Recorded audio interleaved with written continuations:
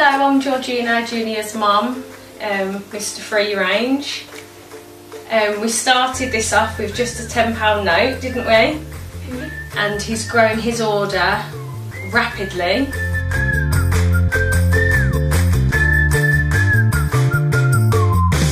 Now he's got 700 eggs to be delivered. And you've got the idea from, where did you get it from? How to get so rich. Yeah, and you wanted to be a multi-millionaire like the man, didn't you? And now we've got 35 regular customers and they're growing by the day. And we do them every Tuesday, don't we? And that's our delivery order and we go to the farm every Tuesday and we get them out Or after school. you pay at the farm shop and then the lady goes and opens the door and she gets the trays out for us. And how many trays did we collect today? 25. 25 trays.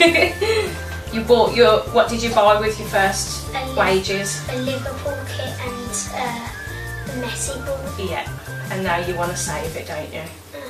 And you want to save it and save it and save it until you can eventually buy a mansion.